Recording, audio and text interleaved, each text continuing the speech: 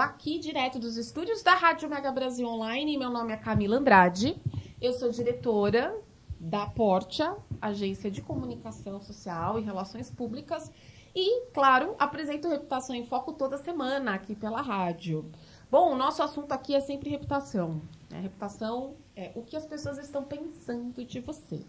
Então, quem construiu uma reputação positiva, que é algo raro hoje em dia aqui no Brasil, é, são pessoas que têm credibilidade, são pessoas que construíram uma história e que com certeza teve sangue, suor e lágrimas nesse processo, nessas etapas, né? Então, eu sempre convido essa galera para vir aqui para a gente conhecer um pouquinho da receitinha de bolo deles, suas histórias que são muito legais e, claro, são estímulos para que nós possamos então começar ou continuar o nosso caminho. Hoje eu trouxe a Kátia Perrone, ela é design de interiores e ela é presidente da ONG Decor Social. Kátia, super obrigada. Faz tempo que eu tô querendo isso aqui. É verdade. Faz muito tempo, muito legal. Eu amo essa área, arquitetura, decoração, design de interiores.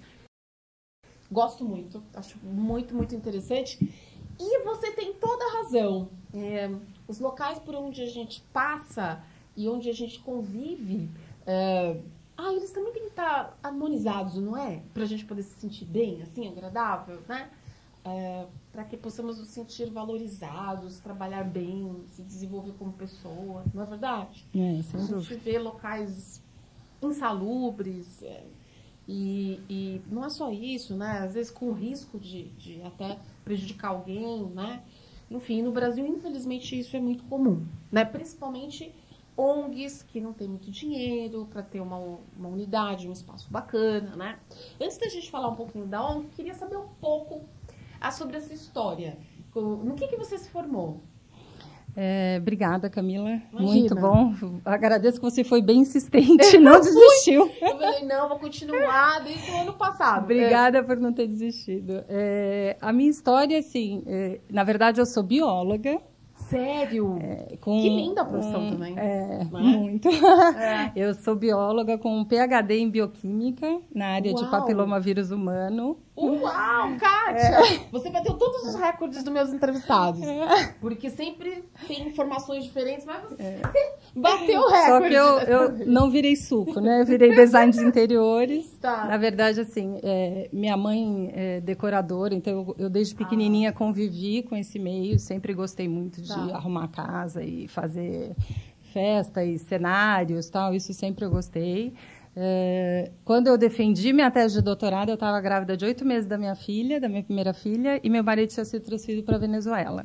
Uau! Então, fui com ela pequenininha e lá fiquei dois anos. E aí, enquanto eu estava lá, eu, ah, eu fiquei arrumando casa, organizando a casa dos amigos Sim, e tal. sim. E aí, voltei grávida do segundo Tá. e falei, bom, quero fazer alguma coisa assim, mais que eu tenha um, né, um horário um pouco mais flexível, porque a pesquisa eh, né, exige demais. E eu já tinha feito verdade. doutorado, então, assim, Sim. seria um outro patamar que ia me exigir muito. E É. grávida do segundo filho não ia ser possível, né, voltar. Aí eu fui para essa área, eu tinha uma amiga que estava fazendo o Grande Hotel de Campo Jordão na época. Tá. E aí eu falei, olha, eu quero te ajudar, né? Me põe aí. E aí foi ótimo, assim, eu me apaixonei. Eh, depois disso a gente fez outros projetos juntos e aí pronto, virei design de interiores, já são legal. 20 anos de escritório. Ah, isso que eu falar. Você abriu s- sua empresa. Tenho meu escritório, Que é. legal. Já são mais de 20 anos. Muito bom, E muito bom assim, mesmo.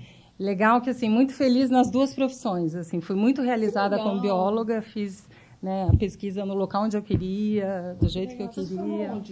Eu me formei no Mackenzie. Que bacana. E depois fiz após eh, o mestrado na USP e depois a- o doutorado na Escola Paulista de Medicina. Que bacana, que maravilha. Nossa, você é, trilhou caminhos diferentes, porém, como você falou, é, vitoriosa nas duas áreas. né? É, Às vezes as legal. pessoas trocam de área porque não deram certo, não foi o seu caso. É, Na não, verdade, as pessoas às vezes falam, nossa, mas você não, não se frustrou de ter largado a pesquisa? Não, eu fui muito feliz, assim, na pesquisa e, e tudo no, muito no tempo certo, assim. naquele momento era o melhor Então, pra você é. e depois uma E outra depois- coisa bacana apareceu, né? Agora, me diz uma coisa. Em que momento você pensou assim, tá, legal, mas talvez eu possa fazer alguma coisa por outras pessoas que precisam, usando meus conhecimentos? Então, na verdade, assim, eu tenho um, um trabalho social, na verdade, um voluntariado com a minha família dentro de um abrigo de crianças, uhum. que uma amiga minha é gestora, então isso já há mais de 10 anos. Uhum. É, é, um envolvimento meu e da minha família, não tem nada a ver com a minha ONG. Tá. E aí, primeiro eu tinha aquela coisa de, ah, não vou me envolver muito com as crianças, não quero ficar muito perto. Eu falava para minha amiga, olha, o que você precisar, eu tô aqui. Mas tá. essa coisa de caindo tal, é, Sim. era difícil emocionalmente para mim. Tá tinha filho pequeno, então não, não, conseguia lidar muito bem com isso. Tá. Mas me incomodava muito o aspecto das casas, né? Eu frequentava as casas, os abrigos, e me incomodava muito porque tudo é, é frio. É, e assim, as pessoas só doam o que não gosta, ou o que está estragado. O que quebrou, né? exatamente. Então, assim, sim, eles sim. têm o sofá manchado, manchado rasgado. rasgado é, aí eles não têm dinheiro para reestofar. Uhum. Aí é o quadro feio que aquela pessoa não gostava e doou. Então essa coisa me incomodava, né? Porque assim, na minha profissão a gente tem o olhar para o belo, né? A gente claro. entra numa casa feia e já enxerga como que ela vai ficar. Sim. E eu não conseguia muito, assim, sabe? Eu entrava lá e falava, meu Deus, como que eu consigo mudar isso aqui? E como que essas crianças ficam aqui, né? Porque... É, porque já, já é uma situação, né? Todos difícil, têm. Sim, é, sim. é um repertório bem pesado, é. né? Todas as crianças têm uma história muito pesada, já são. A gente chama que são as crianças esquecidas, né? Uhum. Então você imagina elas ainda vivendo num ambiente para baixo, né? Uhum. E, e impessoal. É. Então isso ficou na minha cabeça. E aí eles tiveram uma necessidade de fazer uma reforma, uma adaptação de um banheiro que a legislação exigia para deficiente. Tá. E aí eu falei, não, pode deixar que eu vou fazer, tranquilo, imagina fazer um banheiro, vou falar com os meus fornecedores, né? É ONG, né? Ação é, social. É, né? Eu falei, ninguém vai negar, né? Vai negar, né? sim, eu já tinha feito, participado de mostras de decoração, então tá. sabia mais ou menos como que era pedir. Uhum. Mas aí eu vi que pedir de uma outra forma, é né? Vamos dizer assim, parece. sem holofotes, né? Sem ter a mídia, sem o ambiente sair na mídia. Isso. Não é tão fácil, uhum. né? E aí eu me deparei com vários nãos e aí eu fiquei meio chocada. E eu falei, bom, se eu for reformar o abrigo inteiro, não vai ser assim. Né? Claro. Né? Realmente não vai dar para ser. Aí fiquei com isso na minha cabeça. Eu falei, vou pensar uma forma de fazer. E fiquei com esse modelo da mostra de decoração, como eu já tinha, né? Era um formato que eu conhecia de administrar essas é, de, e de, de dividir, né? De dividir as tarefas Sim. entre os, os colaboradores, uhum. né? entre os parceiros. Aí eu fazia parte de um grupo no Facebook, só de profissionais da área. Bacana. E aí eu falei com a administradora do grupo, eu falei, olha, tem tanta gente, acho que eram mil e poucos na época. Eu falei, não tem nada social aí, né? Vamos, posso, né, propor, um, fazer uma proposta aqui no grupo da gente fazer um trabalho, tal. Aí ela me abriu as portas. Nesse mesmo grupo tinha um, um, outro colega meu, que é o Vicente, que é arquiteto e que hoje até é, é, meu sócio, é um dos fundadores também da minha ONG. E aí eu falei, bom, se você quiser fazer junto comigo, vamos, vamos tentar. Aí a gente foi assim, né, né, né se jogou. Aí a gente conseguiu 17 profissionais. Olha, é, vocês deram muito, muita sorte, viu? A gente teve a adesão de mais de 100 empresas no projeto. Uau. Tanto que, assim... Na, Tudo doado? Tudo doado, tudo doação. O abrigo tinha um recurso. Te uma contrapartida? Então, na verdade, assim, é, a gente folhava bastante, porque a gente não tinha essa contrapartida, né? Então, então assim, exato. vamos dizer, a nossa contrapartida, as nossas mídias sociais. Exato. Era, né? Então... É... Não, a contrapartida é cuidar bem dessas crianças, é, né? Mas assim, nem então, toda empresa topa isso. É, a gente não tinha mesmo. O que foi, assim, cada, cada profissional ficava né, incumbido de também divulgar. Claro, claro, e as revistas também da época nos apoiaram. Apoio, então... Entendi. É, a gente conseguiu, assim, mas a gente já de cara falava que a gente não tinha essa contrapartida. Né? Entendi. Né? E aí eu fiquei em choque, assim, com o resultado. Eu falei, meu Deus, né, deu certo. Tanto que no dia da inauguração eu nem chorei de tão em choque que eu estava, assim, que eu falei, meu Deus, será que é verdade? Você chorou no outro dia. Falei, será que deu certo? e, o, e o mais chocante, assim, foi o impacto nas crianças, assim. Eu imagino. A gente não tinha essa dimensão sabe? Assim, a gente achava que, ah, óbvio, né? Vai ficar bonito. Claro que eles vão ficar felizes, né? Sim. Mas fez muita diferença, assim. Até psicologicamente, Psicologicamente, é. de autoestima, sim, sim, de se sentirem mais mais fortes junto, porque essas crianças de abrigo são muito marginalizadas, sabe? Então sofrem muito bullying, né? Uhum. Então, até o ponto de um chegar e falar, ah, tudo bem que eu não tenho pai, mas eu tenho a casa dos sonhos. Sim. Aí, é linda, minha é casa é isso, é linda, né? colorida, maravilhosa, perfumada. Que legal, Kátia. Kátia, a gente vai fazer um intervalinho? Maravilha. E, e aí a gente volta com o segundo bloco do Educação em Foco. Quero saber mais, tá bom? Eu já usei drogas. Comecei com um beckzinho de vez em quando. Ele me fazia esquecer meus problemas, me deixava na brisa. Só que depois da maconha, eu queria um pouco mais. Álcool, cocaína. Sim, foi indo. A gente sempre quer um pouco mais. É como se fosse passar de fase no videogame. Eu acabei conhecendo uma galera que entrou nessa também, por diferentes motivos. Motivos diferentes dos meus. A gente pensa que as drogas vão fazer a gente esquecer os problemas da nossa cabeça, mas só pioram. As drogas fazem a gente ficar dependente delas. Eu fui trocar uma ideia com os meus pais a respeito. Eu sei que dá medo da gente falar pros nossos pais que a gente tá usando alguma coisa, mas eu cheguei a um ponto onde eu não conseguia mais resolver sozinho. Foi quando os meus pais me ajudaram. E foi a melhor coisa que eu fiz. Eles me ajudaram a resolver o problema. Eu descobri que eu não estava sozinho. E foi como passar de fase.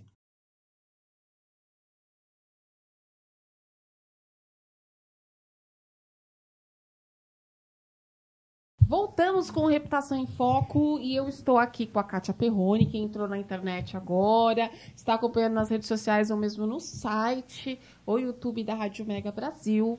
A Kátia, ela é design de interiores e ela é presidente da ONG Decor Social. Kátia, você vai me contando como uh, uh, foi impactante para você essa primeira unidade, esse primeiro trabalho que vocês fizeram com, com com esse local, uh, com essa ONG, né, de cuidados aí, com crianças, né, como você falou, com os esquecidos, coitados, entre aspas, imagina, né? É, são, as, enfim, as crianças que são renegadas, né, vamos dizer assim. É, o, o pai, né, a família, e às vezes a sociedade mesmo, né? Se for, tem órfãos nessa instituição? É, então, essas, essas instituições, eles acolhem crianças ou à espera de adoção. Então, sim, ou órfãos. Ou, é, ou, ou que, que estão em alguma situação de vulnerabilidade. Entendi. Tem entendi. várias coisas. Eu entendi. Né, violência, abuso porque não tem recurso. Eu cheguei a dar aula numa instituição assim, e no início a instituição só tinha crianças com essa característica com HIV. Aí hoje a instituição mudou bastante e não tem mais tanto essa característica. É, também já não tem mais tanta criança com HIV, porque o HIV hoje em dia está é. né, de possível controle, né? Mas era também essa característica, crianças que sofreram abuso e aí foram retiradas da família e tudo mais, né? O quanto essas questões que para muitas pessoas pode parecer uma bobagem, ah, mas só se você arrumar der um tapinha num lugar, vai ficar bacana. O que, que vocês pensam quando vocês estão fazendo? Vocês buscam ajuda, por exemplo, de um psicólogo? São crianças, como você falou, poxa, tem tantos problemas, né? Como é que vocês pensam nessas características? Que tipo de cores vocês podem usar? Que tipo de elementos vocês podem usar? É, eu imagino que não é tão simples assim, né? É, um cliente normal, não, vai, vamos pensar assim, não é, né, assim, né? É. Porque é, vocês chegam a conversar com eles, assim? Então, pra... primeiro, assim, a gente enxerga, vamos dizer, a caixa, né? Tá. Vamos dizer assim, a estrutura da casa mesmo. Tá. O, a, o, o arame. É, tá, o sim. objetivo inicial é deixar aquela moradia saudável, ok? Né? É, e o que, que, é isso saudável? Então, então a gente umidade, vê umidade, tá. infiltração uhum. elétrica, né? Então tem muito gato. Às vezes as coisas perigosas são tá. péssimas, tá. né? Tá. Infiltração é muito recorrente. Então, às vezes falta ventilação, abrir Entendi. uma janela. Tá, tá. É, essa, essa, a gente olha também a legislação, então ah, vê sim, o sim. que que uma casa precisa ter para ser um abrigo. E aí a gente vê se aquela casa está cumprindo realmente tudo dentro, dos de, dentro dos, das tá. normas, né? Tá Para funcionar como abrigo. Uhum. Né? Às vezes está funcionando, mas também não está tão de acordo. Entendi. É, tá. Essa, a maioria hoje precisa ter um banheiro acessível, né? Para portadores Sim. de necessidades especiais.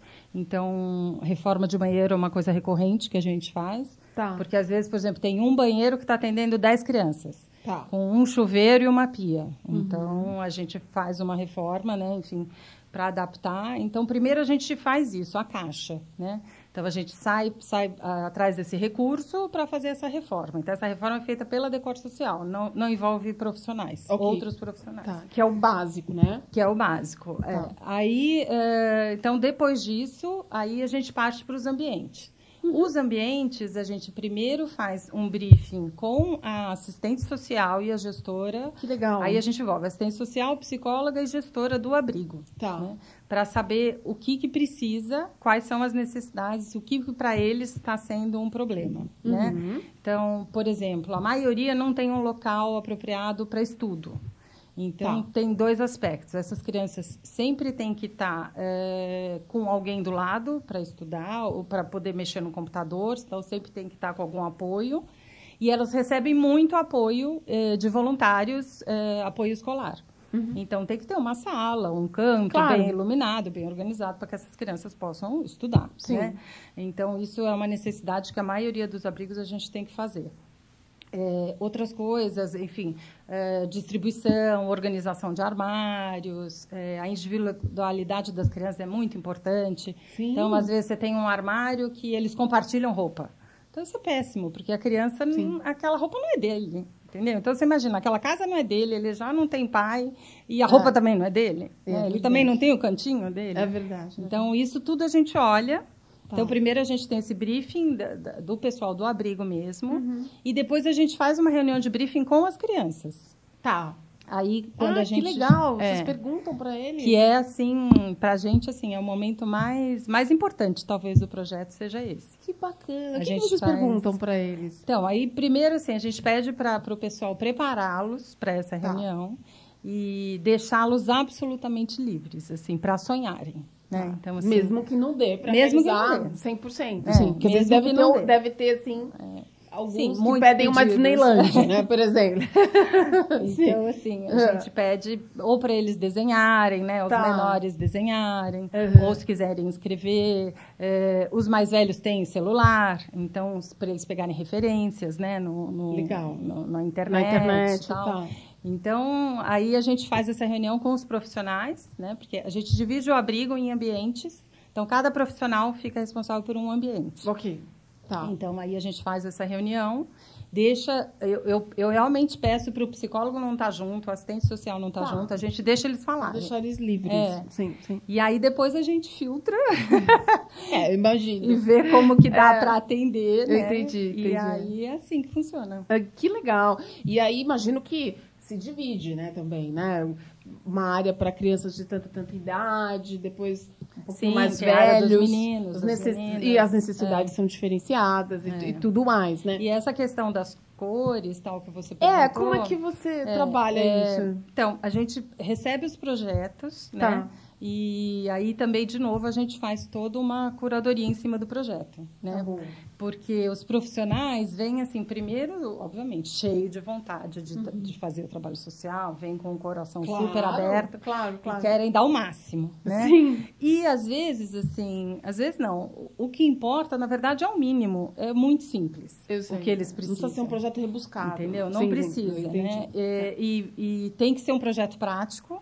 Era isso que eu ia falar, porque senão acaba É, atrapalhando a busca de, de- parceiros de- também, né? Não, e também, assim, o abrigo precisa ter... Tem que ser materiais de alta durabilidade. Exato. Tem que ser fácil de manter. Sim. São as crianças que arrumam as camas. Então, não Ah, adianta, por exemplo, eu tá. colocar numa cama uma colcha com três, quatro almofadas, porta, edredom... gra- Não funciona. Que vai atrapalhar o dia a É. dia. Sim, sim. Então, a gente tem essa curadoria. Que legal. E aí também em cima das cores, né? Dependendo, então, é, por exemplo, sei lá, um quarto de bebê. Os bebês é, de abrigo têm um, um- um atraso de desenvolvimento Sim. por falta de estímulo. Por falta né? de estímulo, de carinho. É, e sim. e, e a primeira infância é muito importante, é o que vai determinar o que essa criança vai ser né, no, final, no resto da vida. Exato. Então, os quartos de, de, de abrigo tem que ser, de ABB, tem que ser estimulantes. Diferente dos da nossa casa, sabe? Que tem que ser tudo mais calminho e tal. Sim, sim. Porque muitas vezes eles ficam o tempo inteiro lá, deitados, olhando para o teto. É verdade. Então, a gente tudo trabalha nessas, nessas situações. né? Tá, entendi. E às vezes, por exemplo, teve uma vez que um, a gente tem eh, muitos grafiteiros que são parceiros, são Ai, muito que legal. legais. E aí uma arquiteta queria fazer aquelas caveiras mexicanas. Que pra gente, assim, né? É Muita bacana, gente a caveirinha gosta. de coração, Sim, com florzinha sim, e sim, sim. Mas aí o pessoal do abrigo falou, não, Acho caveira não. não. Caveira não, não dá, não dá. entendeu? Que no abrigo não É, vai rolar. não vai dar. É, não vai ser uma coisa muito agradável. É, talvez coisas. é, é, cores, né? Que acalmem, que harmonizem, né? Porque eles precisam disso, né? Ao mesmo tempo que precisam de alegria, mas também precisam de harmonia, né? Sim, vezes, sim. Então, enfim, como eles ficam muito tempo lá, né? Eu acho que também não pode ser um ambiente. ah, que eles queiram ir embora, né? Rapidamente. Tem que acolher É. e tem que deixar muito alegres, né? Nossa, muito legal, muito legal. E você tem razão, né? Tem que pensar nisso, porque assim, as- é, se essa criança der sorte, ela pode ser adotada. Muitas não dão, infelizmente, principalmente aqui no Brasil. Sim. Então aquela criança vai ficar um bom tempo lá, né? Enfim, depender do, da idade máxima daquele abrigo. É, é, esses lugares são instituições temporárias, né? É, Mas, Entre é, aspas, é, né? que eles deveriam ficar de um ano, um ano Sim. e meio. Mas tem criança que está sete. Exato. Então, foi exatamente isso que você falou. Tem que ser um móvel durável, né? E se aquela criança for embora, uma outra vai chegar rapidamente, porque infelizmente tem muitas crianças nessa situação. Então, sim, E às vezes tem, tem alguns que são agressivos, né? Que tem quebra ataques, e quebram então, as coisas. é. Sim, sim, sim, sim, sem dúvida nenhuma. Então é bem delicado, assim, sabe? Não é, não é um projeto muito simples. É, assim. por isso que eu imaginei. Eu- por isso que eu falei, é um cliente difícil, É. hein?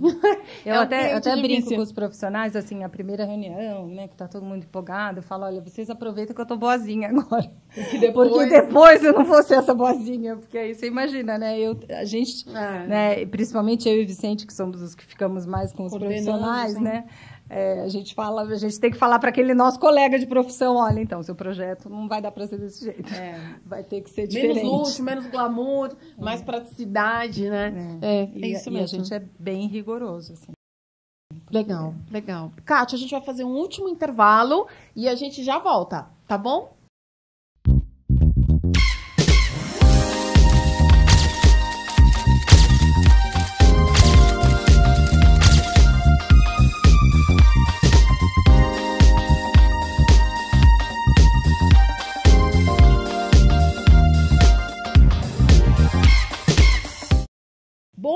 Bom, voltamos com o último bloco do Reputação em Foco. E a Kátia estava me contando eh, de, de todos os detalhes, né, desse, do, que, que se deve fazer, desse checklist para poder fazer um trabalho de qualidade para ONGs, né, e projetos sociais. Kátia, me diz uma coisa, como que são agora os próximos passos da Decor Social?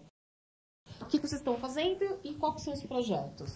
Então, a gente, eh, como eu falei, acho que eu não tinha falado ainda, a gente tem um ano e meio né, de, de decor social. Eh, a gente vai fazer dois anos agora em maio, somos Tá. em quatro fundadores. E então a nossa meta para esse ano é entregar seis abrigos. Seis. Seis. Três, Bastante três e trabalho, três. hein? Bastante trabalho. Bastante O ano trabalho. passado foi um ano difícil, a gente eh, passou fazendo mais evento do que abrigo para poder arrecadar recursos. Entendi. E Tá. agora, então, a gente está entregando né, esses abrigos com os recursos Tá. que a gente Que vocês arrecadou. conseguiram arrecadar. É. Tá. E, e a gente a gente está olhando né, como que a gente consegue replicar para outras cidades e outros estados. Que maravilha. Porque a gente tem tido muita procura. Eu muita imagino, procura. eu imagino. É, muita gente do Brasil todo entrando em contato, que querem fazer. Que legal, hein? E a gente não quer perder assim, essa oportunidade, mas a gente não tem braço ainda. Então, era isso que eu ia falar. Daqui a pouco você vai ter que abrir várias unidades da Decor Social em estados pelo Brasil. Bom, tomara, hein? Mas é Ah. isso que a gente quer. É, claro, claro, sem dúvida, É. sem dúvida. E, e como que vocês vão fazer com relação a esses eventos de arrecadação? Vocês vão continuar fazendo? Às Ah, vezes tem tem, que alguém que continuar. tá ouvindo a gente, É. quer participar. Como que vocês fazem? A gente ainda segue fazendo. Que tipo Vamos de seguir fazendo. eventos vocês fazem para arrecadar? Olha, a gente fez sessão de cinema. Que legal, que legal. A gente tem o Cinemark como parceiro, fizemos Tá. sessão de cinema. A gente fez um outlet com, com várias empresas também, um outlet de Natal com várias empresas Bacana. de imobiliário e tal, que se juntaram. É, a gente fez um, um mercadinho, tipo uma feirinha, assim, é, também tipo bazar. É, a gente vai inventando.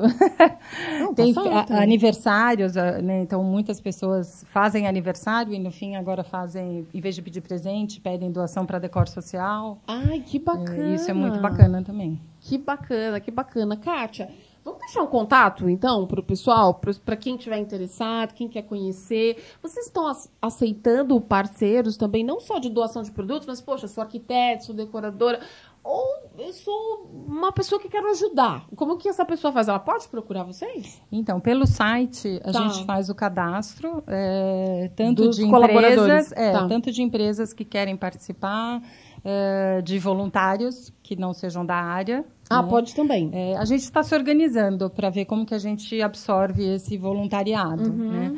É, porque a gente não tem uma sede, né? Então, assim, o trabalho é direto ah. lá no abrigo mesmo. Ah, entendi. É, então, a gente está vendo, mas às vezes, assim, mutirão, organizar armários, né? Então, tá. ou ajudar mesmo com a gente na parte de, de mídias sociais, por exemplo. A gente está vendo voluntário dessa área de comunicação, tá. é, administrativa. Então, como nós somos só os quatro e está faltando braço para nós quatro. cada um pode então, a gente está procurando voluntários Sim. nesse sentido. Tá, tá. Os profissionais, é, que são arquitetos, design de interiores e paisagistas, uhum. aí se uhum. cadastram pelo site. Uhum. É, e aí a gente vai chamando, né? A cada, tá. a cada projeto a gente absorve mais ou menos de 15 a 17 profissionais. Tá bom. E por enquanto só em São Paulo, né? Profissionais aqui da área. E as empresas também podem entrar em contato para participar. E a empresa pode participar como? Ela pode participar com produto? É, ou com produto. Ou com dinheiro ou mesmo. Com recurso. Tá. Isso. Entendi. Legal. Então deixa o site da Decor Social, o Instagram a maioria das pessoas acabam seguindo as pessoas pelo Instagram, né? Ou as instituições. Deixa o contato para a galera aqui da rádio. Então, o site é www.decorsocial.com.br. Tá. O Facebook e o Instagram é decor underline social. Ok. Legal. Kátia, olha, eu fiquei muito feliz de ter insistido para trazer você aqui, porque muito foi muito legal. Eu fiquei feliz de conhecer o trabalho da Decor. Parabéns continue. Se precisar de ajuda, estamos aqui. Pode voltar Obrigada, se tiver algum outro projeto ou precisar de apoio em alguma coisa. É, é, eu costumo fazer esse tipo de trabalho, fique à vontade, tá bom? Muito legal, adorei. Muito então, obrigada. Então tá bom, obrigada, viu? Volte quando quiser. Ixi, Larissa, acabou o programa. Acabou. Fazer o quê? Hoje eu tô assim, ó, pontualíssima. Eu tô.